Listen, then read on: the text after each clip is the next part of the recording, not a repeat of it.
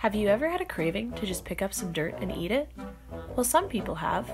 Before today, you probably thought that no one other than a curious toddler would willingly and happily eat dirt, but what you're about to hear is going to prove you wrong. The truth is that many people eat dirt willingly every day, and that's what we call geophagia.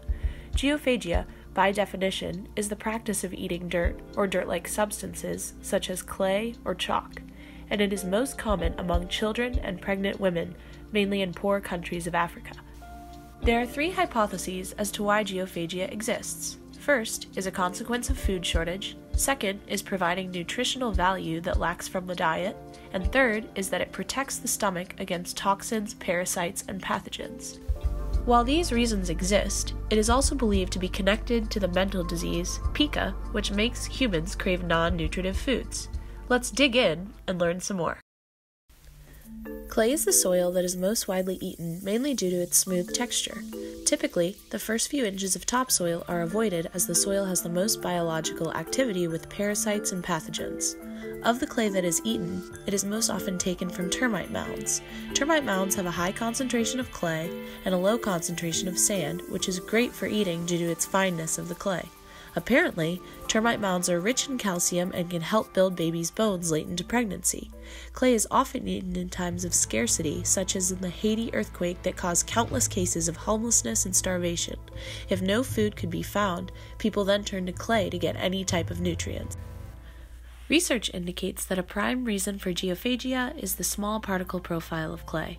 Across all sites commonly sampled for eating, each soil has a clay content of over 35%. Within the body, clays can bind fungal toxins, internal toxins, man made chemicals, and bacteria. Additionally, it can act as a coating, protecting the stomach from acid and curbing diarrhea. These benefits become apparent when analyzing clay's microstructure. Let's look at kaolinite, one of the most commonly eaten clays. The basic structure unit of kaolinite is one silica tetrahedral sheet and one alumina octahedral sheet, bound together by hydrogen bonds. When in solution, the negatively charged surface of clay results in what is called a diffuse double layer, since positive ions are attracted to the negative surface of the clay.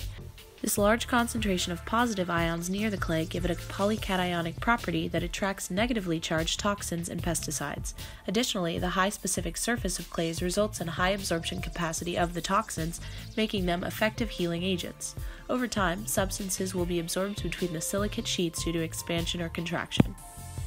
The medical community is divided on the health effects of geophagia. Long term consumption of the soil is known to have high mortality rates. It puts you at risk of ingesting parasitic worms, bacteria, viruses, and other harmful pathogens. It can interfere with iron potassium levels in the body. When consuming soils with high specific surfaces, the particles bind to vital minerals in the body and remove them, which can lead to serious mineral imbalances. However, soil is used more commonly than you'd think for health purposes. Ever taken an antacid tablet like Tums for your stomach ache?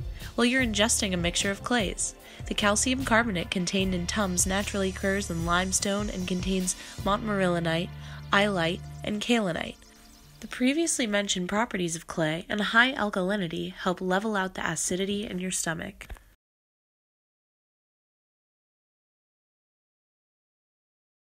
I want to do something different for Halloween this year. Like a different treat? Something that will hurt their stomachs. Or maybe a trick.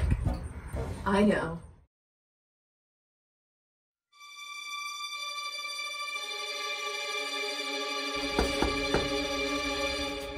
Trick, trick or treat!